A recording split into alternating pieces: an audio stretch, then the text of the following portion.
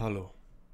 Vorweg will ich euch Leuten da draußen mitteilen, dass ich wirklich ein extrem wichtiges Anliegen haben muss, um ein YouTube-Video zu kreieren, obwohl ich weiß, dass es so gut wie niemand sehen wird. Ich erlaube als Urheber dieses Videos jedem, es sowohl zu teilen als auch beliebig zu vervielfältigen. Ich werde alle meine Quellen in der Videobeschreibung verlinken, ich werde versuchen, mich präziser auszudrücken und ich bitte euch, dieses Video vollständig anzusehen. Danke. Also, was ist mein Anliegen? Ihr alle kennt den Kanal MyLab. Konkret geht es um ihr letztes Video namens Corona hat meine Meinung geändert, hochgeladen am 8. Oktober 2020. Spoiler, an ihrer Meinung hat sich gar nichts geändert. Das Video ist wirklich so peinlich, dass es mich sogar tatsächlich geschafft hat zu überraschen. Aber was meine ich damit genau? Nun lasst mich mit dem Anliegen ihres Videos anfangen. Ihr Anliegen ist, dass sie festgestellt hat, dass regierungsunkonforme Wissenschaftler auch über Internetzugang verfügen. Und das sprengt offensichtlich ihren Verstand. Das gefällt ihr nicht. Sie möchte zwar generell mehr Wissenschaft in den Medien haben, aber natürlich nur von den richtigen Wissenschaftlern. Meine Frage an dieser Stelle an Mai ist, was genau an deiner Meinung hat sich hier geändert? Denn diese Ansicht kommunizierst du auf deinem YouTube-Kanal nun schon seit geschlagenen vier Jahren. Was mich an Leuten wie dieser Frau stört, ist, dass sie meinen, es gebe immer die eine glasklare objektive Wahrheit zu jedem Sachverhalt, die auch gefälligst unverzüglich von jedem einzusehen wäre. Selbst wenn es sich dabei um die Verhältnismäßigkeit bezüglich spontan beschlossener Verordnungen handelt. Und genau diese Leute empören sich dann, wenn andere Mitmenschen, für die diese wissenschaftlichen in Anführungszeichen Fakten nicht unverzüglich klar sind, es auch nur wagen zu sagen, warte mal, nicht so schnell, besonders was daraus resultierende politische Entscheidungen angeht, selbst wenn diese Mitmenschen renommierte Virologen sein sollten. Und genau aus diesem Grund kommt diese junge Dame so unglaublich hochnäsig und arrogant für mich rüber. Wie jemand etwas nicht so sehen kann wie ein Christian Drosten, das ist für sie vollkommen unverständlich. Also ich muss schon sagen, ich als Ausländer finde Deutschland schon ein wenig amüsant. Denn wenn ich hierzulande den Fernseher anschalte, sehe ich beim öffentlich-rechtlichen Rundfunk eine zwangsfinanzierte YouTuberin, welche bei der Tagesschau als Nicht-Virologin die Corona-Lage in Deutschland kommentiert, indem sie den Zuschauern Nachhilfe in Ethik gibt, indem sie für jeden zu Hause noch einmal wiederholt, was solidarisch ist und was nicht. Glaubt mir, wenn ich euch sage, Sowas gibt es in anderen Ländern nur bei Privatsendern. Der Grund, aus dem ich Mai so wahrnehme und dies hier auch öffentlich kommuniziere, ist nicht der, sie als arrogant zu beleidigen, sondern tatsächlich der, dass ich überzeugt davon bin, dass sie es auch tatsächlich ist. Mindestens ein bisschen. Ich gebe euch ein Beispiel dafür. Kommen wir zurück zu ihrem Video. Das Video geht 17 Minuten. Alles, was sie in diesem Video über Dr. Bhakti behauptet, ist, dass er generell Falschinformationen über die Corona-Pandemie verbreitet. Nicht ein einziges Mal in diesen 17 Minuten benennt sie auch nur eine dieser Falschinformationen. Sie will auf wirklich nichts eingehen. Die Begründung dafür ist die übliche. Man will diesen Leuten mit ihren Falschinformationen keine Reichweite bieten. Nicht mal um sie zu widerlegen. Dieses brillante methodologische Vorgehen hat sie sich wahrscheinlich bei ihrem Kollegen Harald Lech abgeschaut. Es gibt nur einen einzigen Grund, aus dem ich ihr diese Begründung nicht abkaufe. Sie erwähnt in demselben Video sowohl Dr. Bhakti als auch seine Frau Dr. Reis bei vollem Namen, ja sie erwähnt sogar den Titel ihres gemeinsamen Buches Corona Fehlalarm, welches Spiegel Bestseller Platz 1 ist. Wenn sie also etwas in diesem Video tut, ist es gerade Dr. Bhakti und seinen Falschinformationen Reichweite zu bieten. Ich denke, sie hat einen völlig anderen Grund für ihr Handeln. Ich denke, dass sie nicht auf seine in Anführungszeichen Falschinformationen eingeht, weil sie keinen blassen Schimmer von Virologie hat. Denn wie sich herausstellt, ist sie keine Virologin. Immer noch nicht. Es geht also in dem Video mal wieder nur um was? Diffamierung. Vorweg ist es wichtig zu verstehen, dass bei Diffamierung auf einer moralischen Ebene argumentiert wird. Die zu diffamierenden Leute liegen eben nicht nur falsch, wobei in diesem Fall nicht mal erklärt wird, warum sie falsch liegen, sondern sie sind zusätzlich unsolidarisch und sogar zu gefährlich, um auch nur über ihre Ansichten zu reden. Diffamierung suggeriert somit nicht nur, dass sich jemand irrt, sondern auch, dass dieser jemand schlechte Intentionen hat. Dr. Bhakti liegt also nicht nur falsch, er ist auch noch böse. Dies wird besonders durch den strukturellen Aufbau des Videos deutlich. 17 Minuten lang geht es darum, Vergleiche zu irgendwelchen renommierten Wissenschaftlern der Vergangenheit zu ziehen, die im Laufe ihrer Karriere auch rassistisches, antisemitisches und sexistisches Gedankengut hatten. Und da habt ihr auch schon die ganzen Schlagwörter. Es wird stark darauf aufmerksam gemacht, dass sich Fachschaften, Hochschullehrer und der Dekan der medizinischen Fakultät der Uni Kiel von ihm distanziert haben. Übrigens, ja, ich habe mich eigentlich. Die, die Person, mit der ich am liebsten hier diskutiert hätte, war der Dekan der Fakultät, äh, der geschrieben hat, was Frau Reis und Herr Bakti tun und sagen, äh, ist gegen die Meinung und gegen das Wissen der Experten international. Ich frage mich, was, was ist hier gegen welches Wissen? Wer sagt etwas anderes, möge das auf den Tisch bringen. Und dann lass uns das diskutieren, mein Gott. Ja, wir sollten als Wissenschaftler zusammenkommen und nicht einfach die anderen, der ist so ein alter. Äh, das, das geht nicht. Es geht um zu viel jetzt. Es geht um zu viel. Und es wird mal wieder nur über jemanden gesprochen, nicht mit ihm. Hat man auch nicht vor, denn ihr wisst ja, Falschinformationen und so. Und ich frage mich an dieser Stelle einfach nur noch, wie solche Leute es dem Publikum dann noch verübeln können, wenn es der Ansicht ist, dass derjenige, der permanent vor dem Diskurs flieht, die Debatte verloren hat. Was ist mit Meinungsvielfalt bezüglich politischer Entscheidungen, Informationsaustausch, Diskussionskultur und Diskursethik passiert?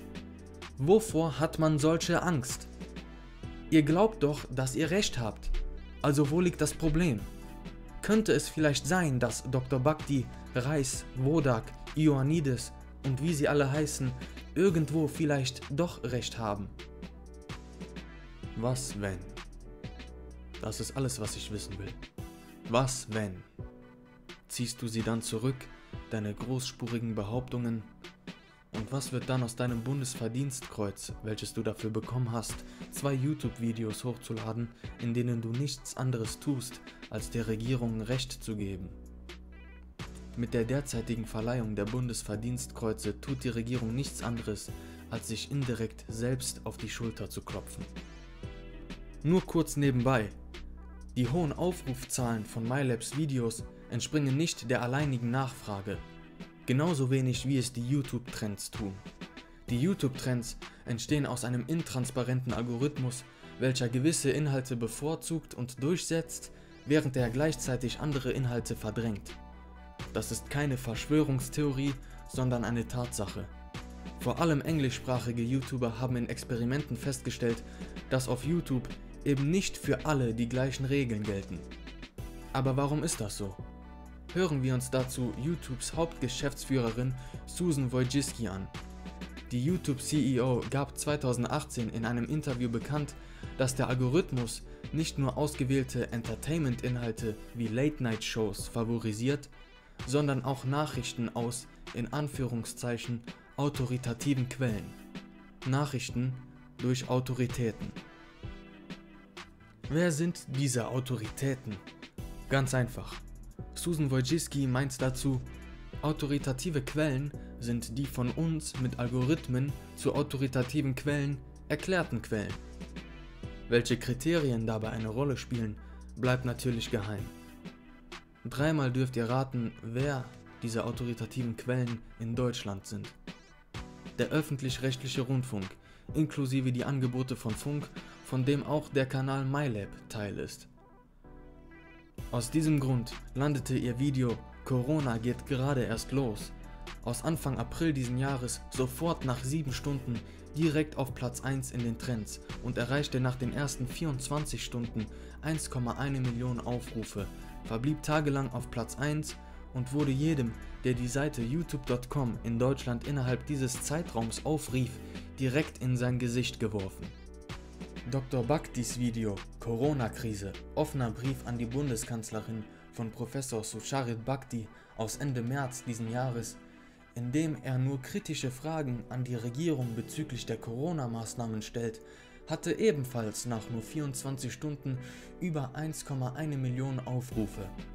Der Unterschied zu MyLab ist jedoch, sein Kanal ist keine autoritative Nachrichtenquelle. Folglich war sein Video nicht in den Trends. Nicht auf Platz 1, nicht auf Platz 5, nicht auf Platz 25. Es war überhaupt nicht in den Trends zu sehen. Zu keinem einzigen Zeitpunkt. Noch ein Beispiel. Kurz nach Dr. Bhaktis Video erschien Anfang April ebenfalls ein Video des MDRs, in dem über Dr. Bhaktis Video, welches, obwohl es nie in den Trends war, mittlerweile Bekanntheit erlangt hatte, geredet wurde. Darin wurden seine Bedenken für unbegründet erklärt. Dieses Video des MDRs landete mit nur 90.000 Aufrufen nach den ersten 24 Stunden sofort auf Platz 3 in den Trends. Also praktisch direkt unter MyLabs Video. Versucht ihr mal mit nur 90.000 Aufrufen nach einem Tag Platz 3 in den Trends zu erreichen, ohne Teil der Rundfunkanstalten oder Netzwerke zu sein. Vergesst es, es wird nicht passieren. Nochmal zusammengefasst. Eine einfache junge Wissenschaftsjournalistin ist auf YouTube bezüglich Corona eine autoritative Nachrichtenquelle. Ein Facharzt für Mikrobiologie und Infektionsepidemiologie mit langjähriger Berufserfahrung ist auf YouTube bezüglich Corona keine autoritative Nachrichtenquelle. Den Menschen ist offensichtlich jedoch noch nicht bewusst, was das alles konkret bedeutet. Das bedeutet erstens, dass die YouTube-Trends nicht der tatsächlichen Nachfrage entsprechen. Sie sind manipuliert. Zweitens, das hier sind keine ehrlichen Zahlen, auch wenn die ARD mit ihnen öffentlich prahlt. Sie entstehen durch manipulierte Algorithmen, Videoempfehlungen und massenweise Werbung.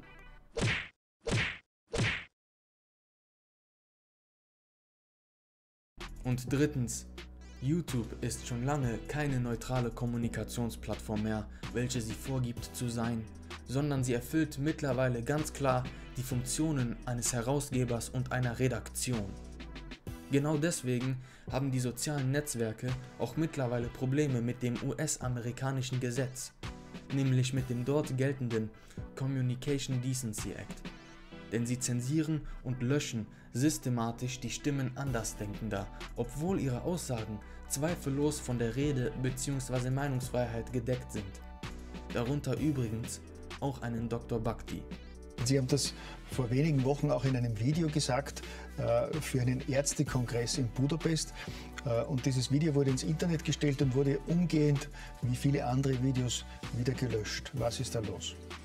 Ja, das hat mich auch überrascht, denn ich habe in diesem Video nichts äh, Unanständiges gesagt. Ich habe nur versucht zu erklären, warum eine Impfung sinnlos ist für Menschen unter 70. In diesem Vortrag habe ich das nochmal so erklärt, dass ich glaube, jeder das verstehen wird. Und siehe da, sofort wird das Ding gelöscht. Und das, wenn das nicht so ernst wäre, wäre es nahezu lustig. Und ich muss Ihnen sagen, ähm, ich habe seitdem drei weitere Videos, Aufklärungsvideos auch über die Impfung gemacht. Sie sind alle gelöscht worden. Und ich habe letzte Woche, als die letzte gelöscht wurde, dann eine Verwarnung bekommen. Ich darf jetzt also meinen Kanal, YouTube-Kanal nicht mehr verwenden. Und zwar eine Woche ist es also blockt. Das hat uns aber zu denken gegeben, dass das, was ich sage, vielleicht gar nicht so verkehrt ist und nicht erwünscht ist, dass die Menschen das erfahren. Es ist von extremer Wichtigkeit, dass die Menschen endlich eine Sache verstehen. Die Informationen, die ihnen zugänglich gemacht werden, sind subjektiv ausgesucht. Sie sind handverlesen. Handverlesen. Das Recht auf Meinungsfreiheit kann man im Internet de facto nicht mehr umsetzen. durch Infobereiche, die unter YouTube-Videos angezeigt werden und Faktenchecks von angeblich unabhängigen Faktencheckern, die man zuerst manuell wegklicken muss, um einen Internetbeitrag überhaupt sehen zu können, wird die Bevölkerung bevormundet. Dadurch, dass unser Zugang zu Informationen im Internet, in dem mittlerweile ein Großteil unserer Kommunikation stattfindet, manipuliert wird, herrscht eine Art Infokrieg. Leute werden systematisch zensiert und gelöscht. Das ist nichts anderes als digitale Bücherverbrennung. Aber das alles ist Mai nicht genug. Denn dass Regierungskritiker schon auf die zahlreichen zuvor beschriebenen Methoden mundtot gemacht werden, reicht ihr offenbar noch nicht aus. Sie verlangt in ihrem Video eine zusätzliche Zulassung für Wissenschaftskommunikatoren. Eine Zulassung.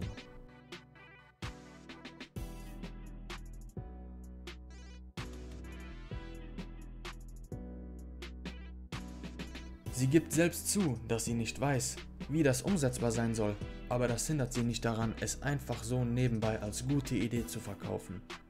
Studiert zu haben und letztendlich zum Doktor der Medizin promoviert zu werden, ist in Zukunft dann wohl nicht mehr genug. Zusätzlich müssen die vertretenen Ansichten regierungskonform sein, um sie öffentlich kommunizieren zu dürfen. Ich denke, ich lehne mich an dieser Stelle nicht zu weit aus dem Fenster, wenn ich behaupte, dass diese Frau über totalitäres Gedankengut verfügt. Mai, wie soll so ein Zulassungsverfahren aussehen? Und wer wird über die Zulassungsvoraussetzungen entscheiden? Du, Harald Lesch und Christian Drosten? Danke, aber nein, danke, denn ich verfüge über ein Grundkonzept von Freiheit. Nur um eines letztendlich klarzustellen. In diesem Video geht es überhaupt nicht darum zu klären, wer in dieser Debatte recht hat. Deswegen tätige ich bezüglich Covid-19 selbst hier auch keine einzige Behauptung mit Wahrheitsanspruch. Mich stört an dieser Debatte einzig und alleine nur, dass sie fast gar nicht stattfindet und wenn doch, sie dann auch noch stark von Diffamierung geprägt ist.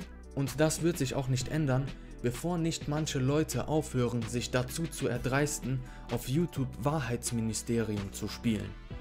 Das wird sich erst ändern, wenn wir zum Beispiel einen Dr. Drosten mit einem Dr. Bhakti an einem Tisch sehen. Von mir aus auch mit MyLab. Die Nachfrage nach einer Diskussionsrunde zwischen Spahn, Drosten, MyLab, Bhakti, Wodak und Streeck ist überwältigend. Wieso findet so etwas nicht statt? Und dann lass den Zwang des besseren Arguments entscheiden. Aber es war von Anfang an klar, dass so etwas nie passieren wird. Und das halte ich für ein Problem. Gerade in den letzten zwei Wochen haben wir eine Reihe von Interviews geführt. Das ist jetzt die kleine Öffnung. Die Großen, die, die, die, machen das nicht. ARD, ZDF etc. Ähm, und werden es wahrscheinlich nicht machen. Da kommen diese Faktenchecker, die überhaupt keine Ahnung haben. Gar keine Ahnung. Ich meine, was sind das für Leute, die, die mir sagen, das ist äh, immerhin ein Fach, das ich mein Leben lang gelebt habe. Dann brauchen sie mir nicht anzufangen, äh, Unterricht zu geben. Oder? Und ähm, die Tatsache, dass sie das tun, ist macht sie unglaubwürdig. Ich glaube nicht nur für mich. Verlangt die offene Diskussion mit den Politikern und mit den Wissenschaftlern von der anderen Seite, damit wir zusammenkommen und das Ganze mal vernünftig besprechen können. Sie müssen Ihr Recht verlangen. Ihr Recht ist etwas, was vielleicht Sie und Ihre Kinder und auch Ihre Eltern gefährdet, offen diskutiert wird, wissenschaftlich. Nicht mit einfach, ah, das ist alles Unsinn. Wenn man der Ansicht ist, dass dieser Mann so extrem falsch liegt, dann sollte man auch in der Lage sein zu erklären, womit er falsch liegt aber das ist offensichtlich für jemanden mit Bundesverdienstkreuz zu viel verlangt. Lieber redlicher Mitstreiter, wenn die Angelegenheit mir nicht so wichtig erschiene, würden wir jetzt nicht miteinander sprechen. es geht nämlich um etwas, was äh, für mich ein Wunder ist. Und zwar vor sechs Tagen äh, erschien eine Erklärung, äh, unterzeichnet von einigen der wichtigsten, angesehensten Wissenschaftlern und Ärzten der Welt äh, Professoren aus Stanford Universität, Harvard und Oxford, darunter auch ein Nobelpreisträger, haben eine Erklärung zu dieser Covid-Krise verfasst, die mir einfach die Sprache verschluckt. Denn, und ich war nicht eingebunden in diese Angelegenheit, äh, sie und eine ganze Reihe von anderen Professoren aus hauptsächlich, ich muss leider sagen, Amerika und England, mhm. sonst nicht. Ja. Nicht aus der Schweiz, nicht aus Deutschland, nicht von Festland Europa, und das ist beschämend, haben in Kürze gesagt, dass sämtliche Maßnahmen, die zur Eindämmung dieser Pandemie Covid-19 verhängt wurden, unverhältnismäßig sind und sofort aufzuheben sind. Zum Wohl der Menschheit. Und sie haben aufgerufen, dass alle, die mit diesem Aufruf einverstanden sind, den Aufruf Declaration, Erklärung, unterschreiben. Ich habe es natürlich sofort getan. Genau, das ist, da kann man die verschiedenen Sprachen, wie ihr seht, das ist natürlich sehr wichtig. Ihr könnt das auf die ganze Welt weiterleiten. Ich werde natürlich den Link äh, posten in die Beschreibung. Ich gebe das jetzt auch schnell in den Chat. Und ihr habt da ganz klar die Möglichkeit, das zu lesen, auch auf Deutsch. Und dann wird das erklärt. Und dann könnt ihr da oben diese Deklaration unterschreiben, da draufklicken. Und dann habt ihr die Möglichkeit, das zu unterschreiben. Und ihr seht da, es hat schon sehr viele. Ihr seht da Medical Public äh, 6.895. Äh, und dann haben wir 14.000 und General Public 200. Ja. Und das steigt minütlich. Ähm, ich kann nur dazu aufrufen. Ich meine, diese Geschichte läuft seit sechs Tagen und sie haben schon ein Viertel Millionen. Ja. Äh, Roger sagte, wenn wir einsteigen und unsere äh, Mitstreiter, so möchte ich sie alle nennen, unsere redlichen Mitstreiter unterschreiben, dann können wir diese Zahl binnen Tagen verdoppeln. Ja. Wir auf Festland Europa, in Deutschland und der Schweiz. Denn mit dieser Erklärung wird das Team, und dies, zu diesem Team, ich gehöre nicht zu den Gründern, versteht ihr ja? ja. Das ist völlig unverhofft gekommen. Aber diese Experten sagen das, was meine Frau und ich versucht haben, seit na, fünf Monaten zu sagen. Auf unsere Art und Weise etwas unbeholfen. Wir haben einfach, wir haben einfach ein Gefühl der Dankbarkeit, dass dieses passiert ist. Ja. Und wir denken, das Beste, was passieren kann, ist, dass wir jetzt mit dieser internationalen Bewegung nach vorne gehen, vereint, vereint, mit Leuten um die ganze Welt jetzt. Und sie möchten, sie sollten unbedingt dabei sein. Also unterschreiben, unterschreiben, unterschreiben und teilen. Damit würden wir als Deutsche, als Schweizer, als Österreicher und alle, die hier zugeschaltet sind, unsere Pflicht endlich erfüllt haben. Mhm. Wenn, wenn diese Menschen sagen, wir haben eine Million Unterschriften aus der ganzen Welt, dann können die Regierungen nicht mehr einfach den Kopf drehen und sagen, das sind Spinner, Verschwörer und vor allen Dingen Leute, die keine Ahnung haben. Das können Sie bei mir sagen, weil ich in Rente bin. Aber diese Menschen, die jetzt das unterschrieben haben, sind nicht in Rente. Sie sind die Leiter der angesehensten Institutionen für Epidemiologie, Medizin, Infektionskrankheiten der Welt. Und da kann sogar Frau Merkel, kann Herr Spahn, kann Herr, Drossen wäre nicht durchgekommen in einer Prüfung bei Ihnen, das sage ich Ihnen ganz offen. Herr Wiele sowieso nicht. Also, helfen Sie, dass endlich Vernunft und Gerechtigkeit einkehrt.